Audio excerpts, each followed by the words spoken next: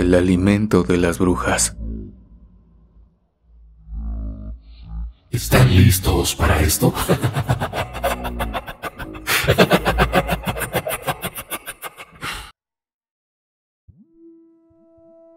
No sé por qué, pero siempre que estoy hablando con las personas, inevitablemente termino charlando sobre fantasmas, aparecidos, demonios y otros entes que acosan al ser humano, aunque ya no pertenezcan al mundo terrenal.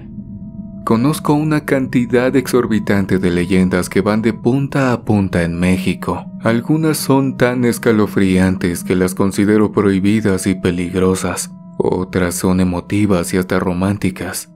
Pero nada me causa más miedo que escuchar sobre las brujas.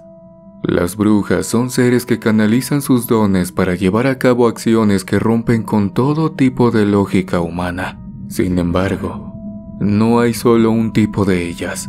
Entre estos seres misteriosos e intrigantes, tenemos a las brujas que dominan la sanación por medio de plantas, también llamadas curanderas. Son damas que aprendieron el arte de la herbolaria y comenzaron a aplicarla de manera satisfactoria. Además, al ir aprendiendo, también analizaron el cuerpo humano, su anatomía y funcionamiento así que algunas terminaron actuando como quiroprácticas, parteras u ortopedistas.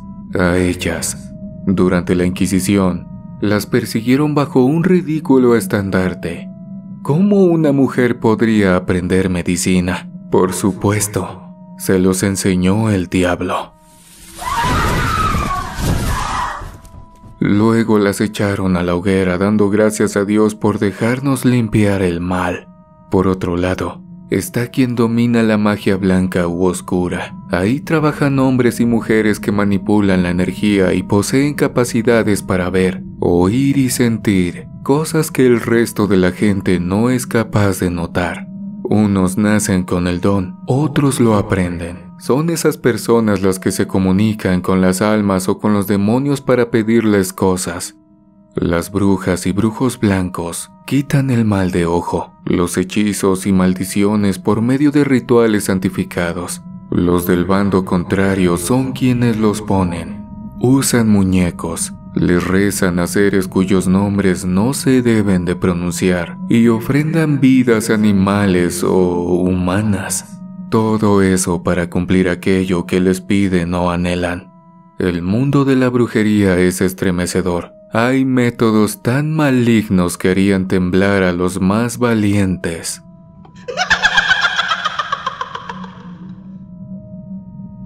Por último, están las criaturas, las brujas míticas, una especie de la que hemos oído en leyendas y en susurros frente a las fogatas. Se dice que ellas bailan convertidas en bolas de fuego durante la noche también que se convierten en guajolotes o que se quitan los pies para cometer sus fechorías. En los pueblos más alejados de la ciudad todavía se pueden encontrar tijeras o espejos sobre las cabeceras para ahuyentar a la bruja. A lo largo de la República Mexicana hay cientos de relatos sobre seres femeninos que se esconden en cuevas o bosques, que acechan al ganado y que en ocasiones lo atacan. Sin embargo, ninguno me pone la piel de gallina como los testimonios donde un bebé es el objetivo de estos entes despiadados e inhumanos.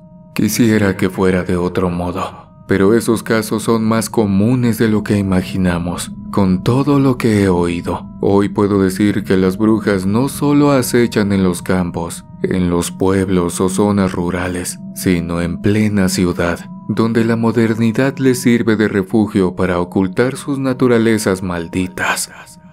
Así pues, de las cosas que he escuchado, elegí las tres anécdotas más terroríficas sobre el tema, todas ellas contadas por las propias madres de los pequeños que padecieron la cercanía de una bruja. Así que pongan mucha atención.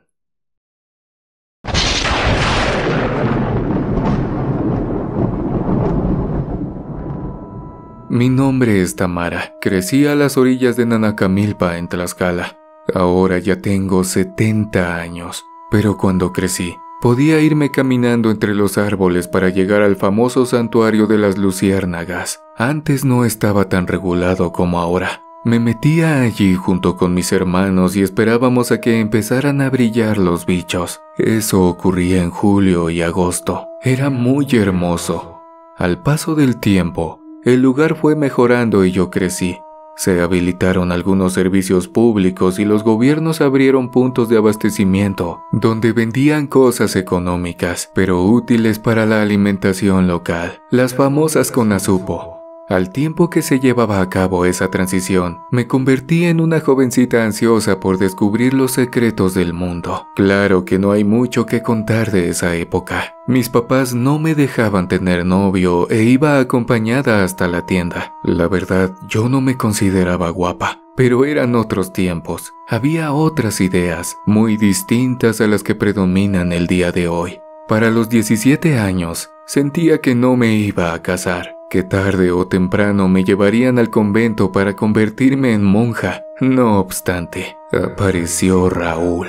Él era un muchacho de 20 años, hijo de un terrateniente menor, o sea, pertenecía a gente con suficiente dinero para vivir sin carencias, pero no alcanzaba el rango de adinerado. Su posesión más destacada era una finca llamada La Tormenta donde vivían sus padres, una hermana y un puñado de sirvientes. Raúl era un joven muy adelantado para su tiempo. No me obligó a nada. Les propuso a mis padres que nos conociéramos unos meses y si nos caíamos bien, realizaríamos nuestra boda en la capilla del pueblo. En ese lapso nos descubrimos como almas gemelas y nos casamos medio año después. Tras la boda y unas semanas antes de mi cumpleaños, descubrí que estaba embarazada. Mi embarazo no tuvo incidentes de salud, se desarrolló sin problema. No obstante, mientras estaba gestando se me subía el muerto muy seguido. Hoy le llaman parálisis del sueño, pero en mi época eso significaba que te rondaban los espíritus y me orilló a recibir limpias o a cargar amuletos para ahuyentarlos. En la actualidad creo que solo era una chiquilla asustada, a punto de ser madre.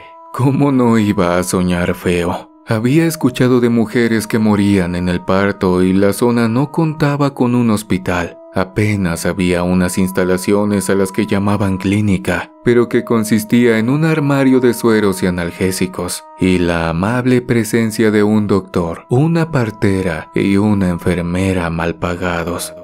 Mi primer hijo nació en ese sitio. Nos dieron de alta y regresamos a casa. La familia nos recibió con amor y los meses transcurrieron sin mayor novedad. En cuanto mi niño cumplió un año, me di cuenta de que estaba embarazada por segunda vez. En esa ocasión tuve pocas pesadillas, pero en ellas casi siempre veía un ser asomado por la ventana, a pesar de que lo intentaba. No podía distinguir si iba cubierto por un tupido pelaje o si era una gruesa capa de plumas, pero reconocía sus ojos pequeños y sus manos largas, aferradas a la cornisa de madera. Casi siempre lo escuchaba hacer ruidos, como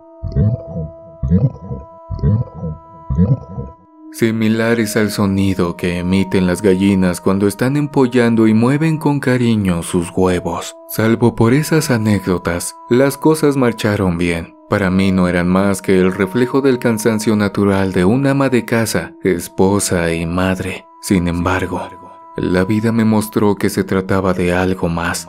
Con el paso de los meses di a luz a una niña. Las dos noches que estuve en la clínica, mi pequeña las pasó como si nada. Comía, dormía, le cambiábamos el pañal y el ciclo se repetía. Al tercer día me dieron de alta y volvimos a casa. Desde ese momento comenzamos un calvario espantoso. La bebé no dejaba de llorar. Se dormía cinco minutos y reanudaba el llanto. En cuanto cayó la noche,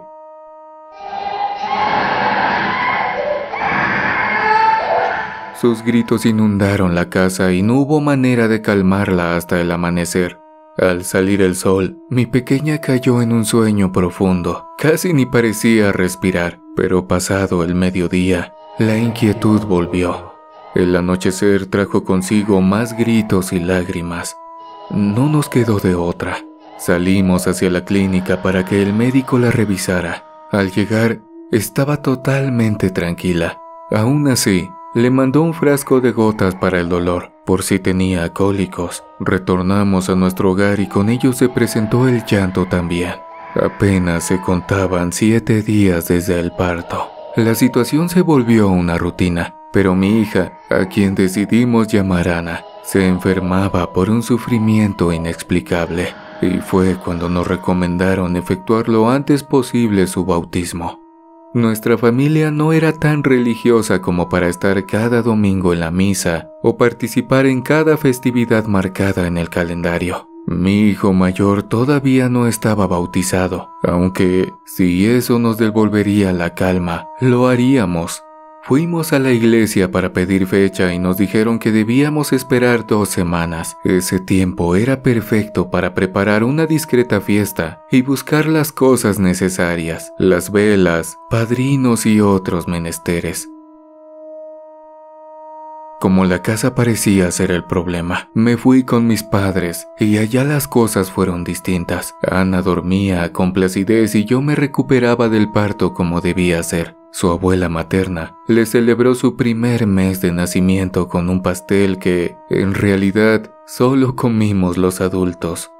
Dos días antes de otorgarle el sacramento, volvimos a la finca de Raúl para ultimar detalles. Creí que Ana estaría bien porque pasó la tarde durmiendo, pero por desgracia, cuando llegó la noche, estalló en gritos tan fuertes que tuve que encerrarme con ella en una bodega. De otro modo, no dejaría dormir a su padre y él debía concretar varias cosas importantes al día siguiente. Así pues, en medio de cajones y costales de café, abracé al ser que ocupaba un lugar privilegiado en mi corazón y le canté canciones con las cuales buscaba dormirla. Traté de utilizar una voz suave, lenta, perfecta para comunicarle que se encontraba a salvo y que ni nada ni nadie tenía el poder suficiente como para hacerle el más mínimo daño. Además, yo me encontraba a su lado para interponerme y formar un escudo impenetrable, tal como suelen hacer las madres cuando sus hijos están en peligro.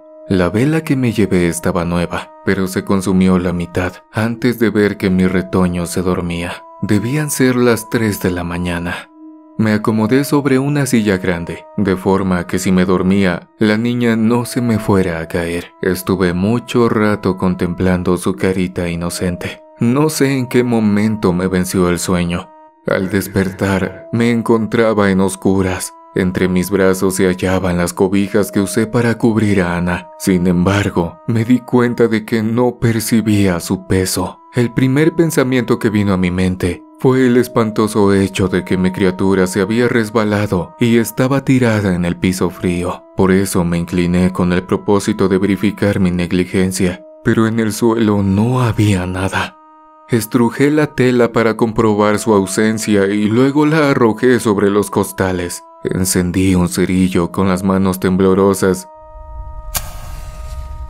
La vela debió apagarse en cuanto cerré los ojos, pues seguía casi la mitad de la cera disponible. Salí de la bodeguita corriendo, gritando para que se levantara Raúl y las señoras que nos ayudaban en la casa. Me habría gustado pasar por alto a mis suegros y cuñada. No obstante, al final concluí que era mejor alertar a cada inquilino del lugar. Nadie tenía idea de dónde estaba mi bebé. Entonces me vino a la mente mi otro hijo y salté hacia la habitación matrimonial a fin de registrar su cuna. Él estaba bien. Dormía ajeno a las circunstancias. Lo levanté y lo apreté entre mis brazos. Lo que siguió fueron escenas frenéticas. Inspeccionaron la bodega, sacudieron las cobijas, examinaron cada cuarto de nuestro hogar y en ningún lado encontramos a la niña. Ana desapareció como por arte de magia. Esa fue la peor noche de mi vida. Oí llorar a mi hija varias veces, pero era solo mi imaginación. Dejé a mi niño con la cocinera y le pedí que no se apartara de él. Volví a buscar en la bodega, entre las mantas, en las habitaciones y en cuanto no hubo espacio interior en el cual revisar, se me ocurrió vagar en los alrededores, a la intemperie, a oscuras con las mejillas mojadas por el llanto. No me importó abrigarme. Salí y anduve en medio de los árboles, mirando entre los arbustos y murmurando solemnes plegarias con el objetivo de que me devolvieran a mi hija. Si alguna vez deseé algo, fue en esa ocasión. Le pedí ayuda a cada santo que pude recordar, a todas las vírgenes y niños milagrosos. Me tardé mucho tiempo, pero en medio de la penumbra, distinguí una pequeña mancha blanca ubicada en medio de los matorrales. El corazón me dejó de latir.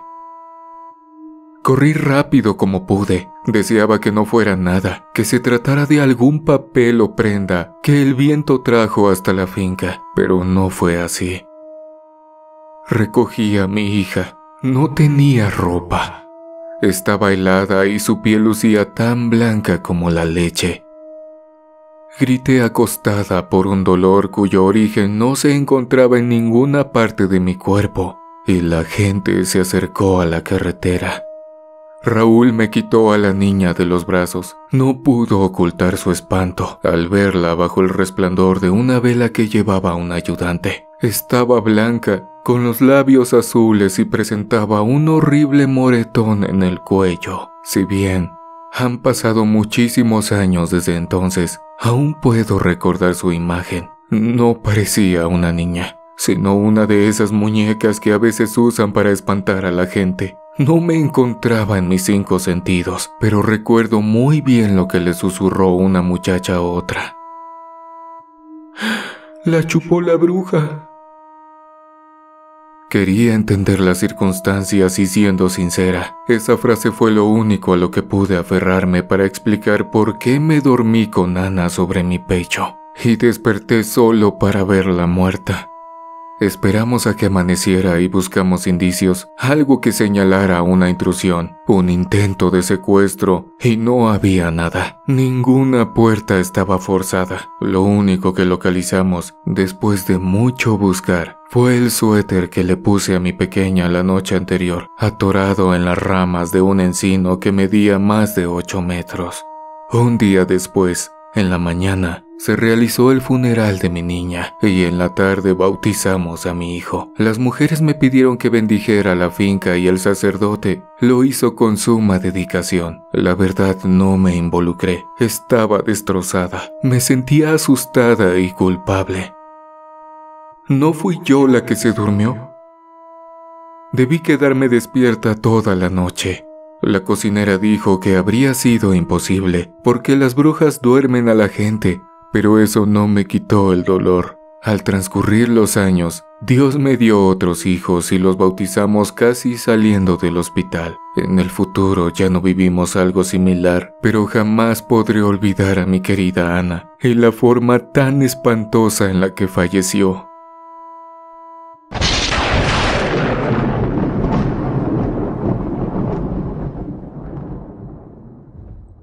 Yo no vivía en un pueblo. Nací y crecí en la capital, en Iztapalapa, cerca del famoso Cerro de la Estrella. Gracias a esa ubicación, cada cosa asombrosa que surgía en el mundo, yo la pude experimentar casi al instante. Hoy estoy por cumplir 82 años, tengo 6 bisnietos, creo que llevo 13 o 15 nietos y tuve 9 hijos, de los cuales solo vivieron 8. Todavía soy de la generación donde la familia era grande y salíamos adelante con el favor de Dios. Mi marido era arquitecto y yo cosía ropa por encargo para conseguir un ingreso extra o comprarme algún gustito. Ocho hijos me sobreviven. El noveno, el que me falta, es Eric. Me embaracé de Eric en febrero y él nació en noviembre. Fue el cuarto hijo que tendría. Sus hermanos tenían dos, tres y cinco años. Ese año hizo bastante frío y poníamos un brasero en la casa. Era una forma fácil de calentar a los niños mayores por las noches. Así pues nació el bebé. Llegó con salud y me recuperé pronto del parto. Antes era muy raro que los médicos practicaran cesáreas, por lo tanto, al mes yo ya andaba para acá y para allá con mi chamaco cargando. En esos días levanté un pedido de vestidos para seis señoritas y debía ir a sus casas con la intención de hacerles pruebas. Me acuerdo de que era una familia importante, pero ya se me olvidó su apellido. Riva Palacio o de la Riva, algo así por el estilo. Para ir a su casa debía caminar unas 10 cuadras. Me desplazaba por lo que hoy es Avenida Ermita, solo que antes no había metro ni todas esas luminarias o señalizaciones. De ida y vuelta, pasaba justo por la zona donde se ubica el Cerro de la Estrella. Cuando yo nací, ya llevaba años realizándose la representación de la Pasión de Cristo y algunas veces fui al recorrido, así que el lugar me era conocido. Recuerdo que iba con mi bebé en brazos y miraba hacia la colonia. Sentía un respeto especial hacia el terreno. Avancé en mi trabajo y ya me encontraba aplicando las pruebas finales. Ese día, fui a consultar unas dudas y la señora de la casa me invitó a merendar. Tomé té con unos panecillos similares a tartas y en medio de la plática se me hizo tarde. Me despedí cerca de las siete. Ya estaba oscureciendo. Aún había mucha gente en la calle, así que no me preocupé, pero caminé rápido para estar en casa lo antes posible. Sin embargo, en el momento en el que pasé por la calle que lleva al Cerro de la Estrella, noté que dos mujeres me cerraron el camino. Yo me asusté Creí que me iban a robar y apreté a Eric entre mis brazos. Prefería darles el poco dinero que llevaba y evitar que lastimaran a mi crío. No fue así. Solo me preguntaron una dirección. Una de ellas cuestionó qué edad tenía mi bebé y le dije que iba a cumplir dos meses. Vi a la desconocida sonreír. Me dio las gracias por las indicaciones y se fue junto a su compañera. No sé por qué, pero verlas me dio escalofríos de modo que me dirigí a mi vivienda casi a la carrera. Después de eso, tuve que hacer varias visitas a la casa de mis patrones porque las niñas pidieron encajes y olanes de último minuto. Lo insólito fue que, de vuelta a casa, comencé a encontrarme con las mismas damas sin excepción. Las veía charlando en una banca, comiendo en algún restaurante, caminando en la banqueta contraria o paradas en algún kiosco de periódicos. No me hablaban ni se me acercaban, pero sentía sus miradas sobre mí y sobre mi hijo. Él, de hecho, cambió su comportamiento. Se volvió irritable y solía saltar al estar dormido, así como cuando uno sueña que se cae. Nuestra vida adquirió una intranquilidad inexplicable. Mi hijo presentaba una angustia persistente y yo me sentía de la misma manera, incluso si era algo extraño. Lo cierto es que no le di mayor importancia.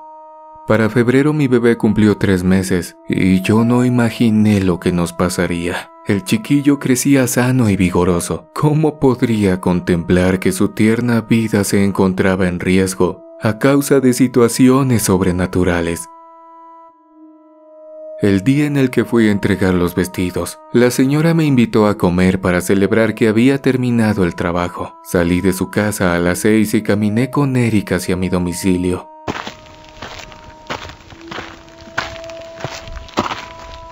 Dejé atrás varias calles. De repente, noté que transitaba justo por donde el cerro de la estrella se aprecia mejor. Me le quedé mirando por unos segundos, luego un escalofrío me recorrió la espalda. Di un paso para continuar mi camino, pero me choqué con alguien y casi nos fuimos al piso. Me incorporé asustada, revisé a Eric para confirmar que estuviera bien y después me disculpé por ir distraída. Al levantar la mirada, descubrí a una de las mujeres que no dejaba de encontrarme. Siendo un poco más temprano, Pude verla mejor. Era alta, delgada y trigueña.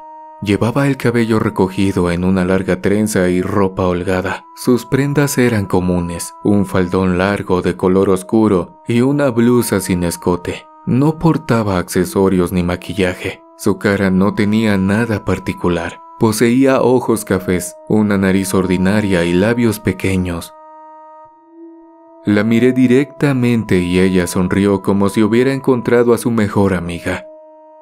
Debo reconocer que a pesar de la mueca amable, no encontré una bondad genuina en su rostro, por lo tanto, di un paso hacia atrás dispuesta a rodearla para alejarme. Creo que ahí empezó todo. Sentí mucho sueño y traté de decir algo, mas no recuerdo si lo logré. Perdí el dominio de mi cuerpo y me convertí en una marioneta obediente.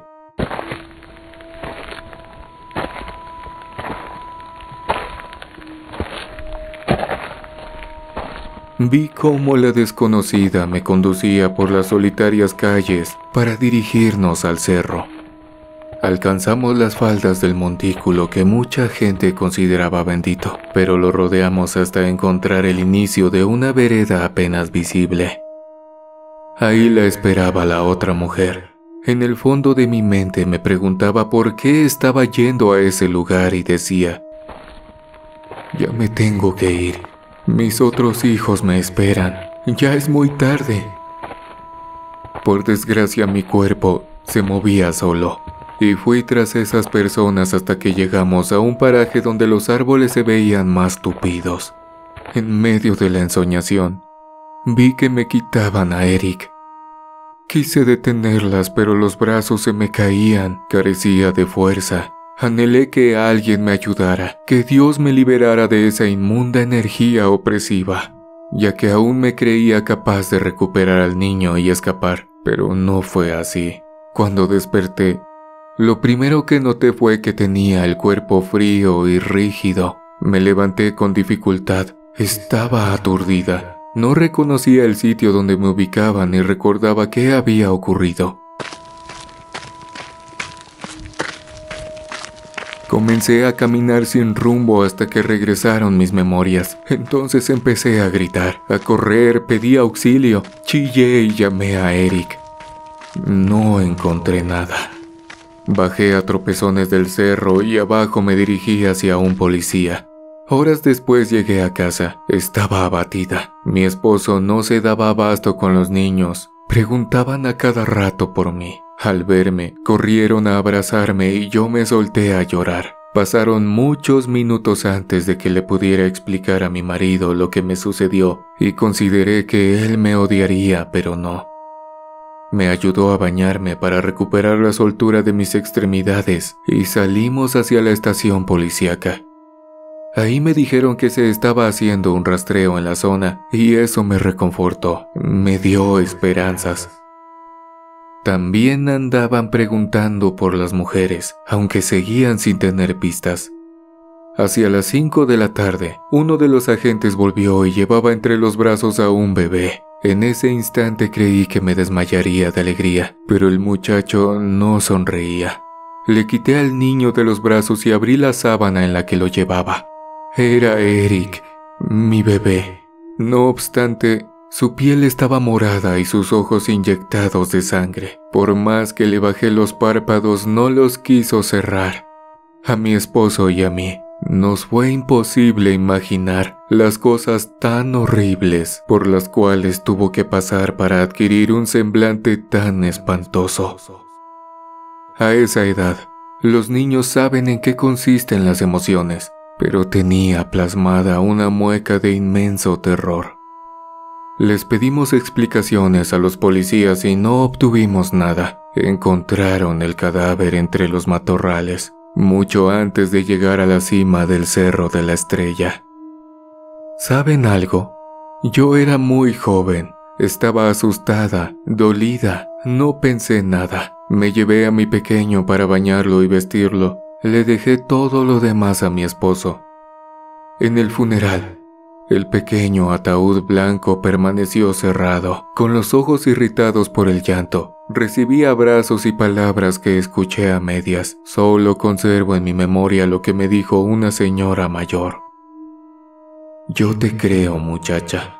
A uno de mis hijos también me lo mataron las asquerosas brujas. Son esas del cerro. Ahí andan desde hace muchísimo tiempo. Les quitan la sangre y los dejan como sin nada. Se burlan de la colina porque es santa. Asumen que sus blasfemias son mejor escuchadas porque al demonio le agradan las porquerías que hacen. No te sientas mal. Tú no tuviste la culpa. No habrías podido hacer algo.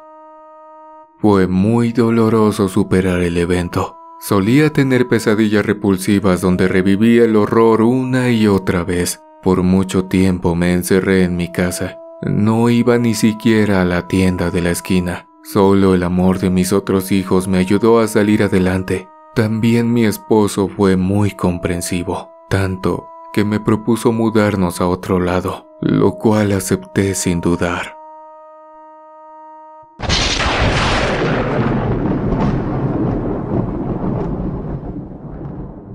No había una cosa que yo anhelara más que ser madre. Desde muy joven quería tener entre mis brazos a un bebé que saliera de mis entrañas y me llamara mamá. A diferencia de otras personas, yo solo tengo 25 años y esta historia me pasó hace cuatro. Trabajaba en una tienda departamental y ahí conocí a Tomás, un joven de mi edad que pronto se convirtió en el amor de mi vida. Nos casamos a mis 20 y para los 21 ya estaba esperando un bebé. Viví un embarazo hermoso, lleno de bendiciones y rodeada de un amor inmenso. A los siete meses de gestación, en el ultrasonido se reveló que tendría una niña y empezamos a buscar nombres. Queríamos uno que fuera simbólico y que nos gustara a los dos. Tomás propuso que se llamara Melody, pero a mí no me convenció. Más adelante consideramos nombrarla Anaí, aunque no llegamos a concluir nada. Poco antes del parto, se nos presentó el nombre de Victoria y nos gustó. Sonaba femenino, agradable y lleno de fortaleza. Lo vimos como el indicativo de que Tomás encontró a la mujer de su vida y yo logré construir un hogar en el cual ser mamá y cumplir el objetivo más importante de mi existencia. Éramos una pareja victoriosa.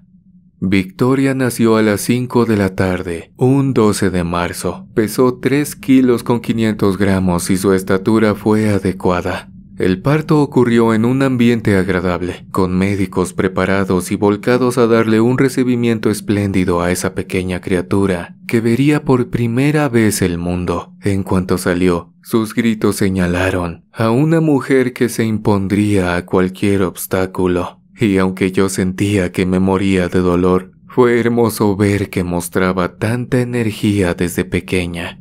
Horas después, cuando ya había descansado un poco, me la llevaron para alimentarla y se pegó a mi pecho como una experta. Su forma de tomar leche era amable. No me lastimó para nada. Decidimos estar unos días con mi mamá para enfrentar nuestra nueva etapa con más ligereza y luego de dos semanas regresamos al sitio que rentábamos. Nosotros teníamos el número 3 de los siete departamentos en el edificio, así que nadie podía inquietarnos desde afuera, a menos que volara o midiera 12 metros. Los días transcurrieron. Registramos a nuestra bebé legalmente y luego la bautizamos en una ceremonia sencilla. Convivimos en familia y con sus padrinos, elegidos especialmente bajo la idea de que la cuidaran si un día nosotros no podíamos. Sin darnos cuenta, llegó el fin de año. Victoria ya tenía nueve meses y crecía de manera satisfactoria. Entonces decidimos visitar a la familia de Tomás en Puebla durante una semana. Yo no conocía ese estado y lo consideré la mejor idea de la historia. De esa manera, el 27 de diciembre nos trasladamos a Atlisco y nos preparamos para disfrutar una de las temporadas más hermosas que existen. Previo al año nuevo, mi esposo, Victoria y yo estuvimos paseando por el lugar. Visitamos plazas, mercados y zonas cercanas, incluso los alrededores de San Miguel una zona boscosa donde se cuentan innumerables leyendas y la gente va a cazar fantasmas para sus redes sociales. Me acuerdo de que lo más interesante era contemplar las bolas de fuego por las noches. Esperamos hasta las 11. Ese 29 de diciembre no nos tocó ver nada. El guía aclaró que las brujas son caprichosas sin mayor oposición, dejamos el tema y lo olvidamos. Seguimos los preparativos con mis suegros. Ayudé en las compras y en la preparación de la cena familiar. El último día de diciembre, por la noche, brindamos y comimos como si no hubiera mañana. Luego Victoria comenzó a llorar y no hubo poder humano que la calmara. Inicialmente imaginé que se trataba de una incomodidad causada por los fuegos artificiales, así que me la llevé a la habitación y la acuné entre mis brazos hasta que se durmió. Esa noche tuve una pesadilla en la que alguien jalaba a mi bebé mientras dormíamos y la aferraba muy fuerte para evitar que me la arrebataran. Creo que lo hice en la vida real también porque mi hija soltó un grito estridente y me despertó. El 2 de enero, a lo largo del día, Victoria estuvo tranquila y eso me llenó de alivio, pero al caer la noche, volvió la guerra. Gritos, llanto implacable, siestas de cinco minutos y lágrimas que duraban horas. Le dije a Tomás que si la niña seguía así, la llevaría al médico, pero al amanecer todo volvió a la calma. Victoria comió, durmió y estuvo riendo con su abuela. Solo permaneceríamos allí un día más, pues el 4 de enero regresaríamos a la ciudad, y no quise robarle ni un minuto de interacción con su familia paterna. ¡Qué grave error!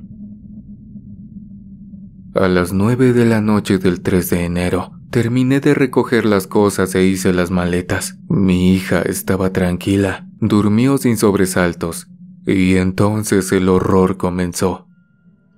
Nos acostamos a dormir. Tomás me tenía abrazada por la espalda y yo acunaba a Victoria frente a mi pecho. Empecé a soñar que alguien entraba a la casa e iba deambulando por las habitaciones. Trataba de avisarle a mi esposo, pero él no me escuchaba.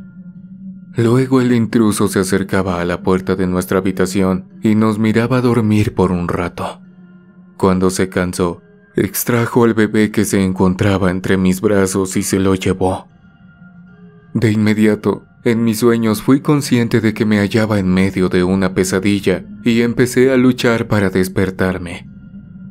Gemía, trataba de patear y le gritaba a Tomás, sin embargo, él no me oía ni entendía mis súplicas. Como lo único que podía hacer era balbucear, recurrí a morderme la lengua, con el propósito de generarme dolor y abrir los ojos. Lo logré. Mis párpados se separaron y mi boca percibió el gusto metálico de la sangre. En ese instante noté que mis brazos estaban vacíos y consideré que seguía dormida, pero el instinto me dijo que no era así. Me incorporé con dificultad. Estaba mareada y sentía una pesadez inmensa. Le golpeé el pecho a mi marido e igual que mi pesadilla, no reaccionó. Abandoné la cama y me dirigí a la puerta. Estaba abierta y pude salir agarrándome de los muebles. El pasillo estaba oscuro y veía las cosas distorsionadas, pero en medio de mi desorientación oí el llanto de un bebé y caminé con dirección a la entrada principal. Ese portal también estaba abierto.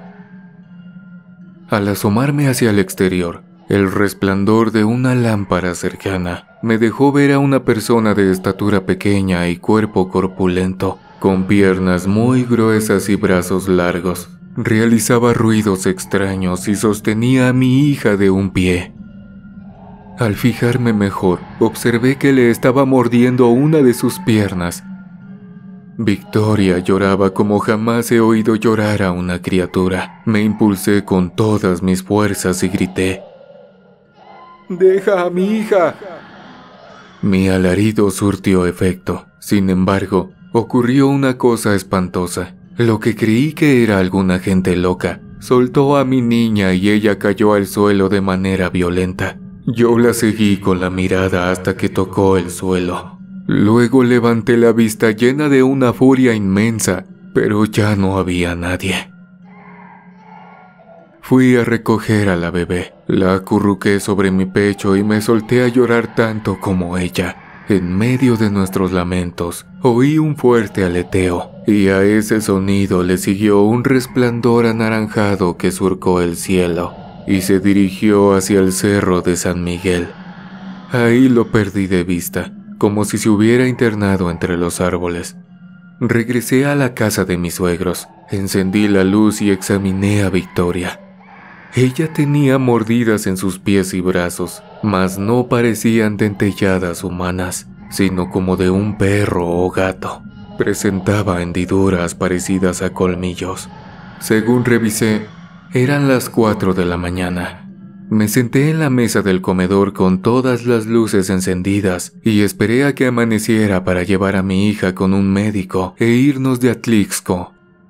Unos minutos después de las cinco, mi suegra y Tomás se levantaron. Les conté lo ocurrido y no lo creyeron hasta que vieron las heridas de la niña. La señora me bañó con agua bendita e hizo lo mismo con su nieta, pero por desgracia, antes de que saliera el sol, percibí la manera en la que su cuerpo se relajó y su pequeña cabeza se fue de lado. Mi Victoria falleció un 4 de enero, hace cuatro años. Ya estaba bautizada y puedo jurar que su deceso se debió a una bruja. A muchos les parecerá increíble, sin embargo, ahí está su tumba. Vayan a decirle que nada de eso es verdad. Historia escrita para Oscuro Secreto por A. R. García. Queridos amigos, muchas gracias por acompañarme esta noche. No olvides suscribirte y activar la campanita para que te lleguen las notificaciones cuando subamos una nueva historia de terror. Es completamente gratis. Y si este relato de terror te ha gustado, no olvides dejarme tu comentario, tu pulgar arriba y compartirme con todos tus amigos. Nos vemos en una siguiente emisión de Oscuro Secreto.